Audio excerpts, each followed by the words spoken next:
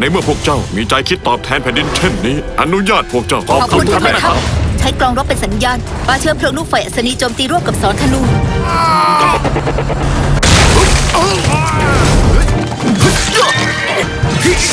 เจ้าฆ่าตัวตายก่อนแล้วข้าจะปล่อยนางเจออันตีอีข้าชอบเจ้า。ห้าตรุณแห่งช้างอัน วันนี้บ่ายสองยี่สิบนาที